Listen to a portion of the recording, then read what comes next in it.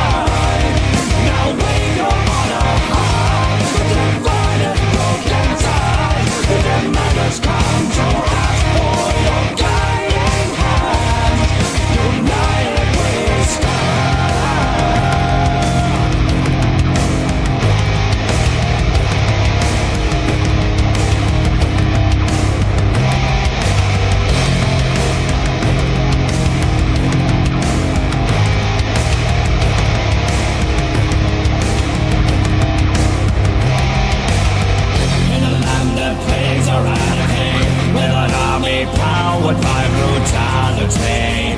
Our destiny awaits as we go one by one.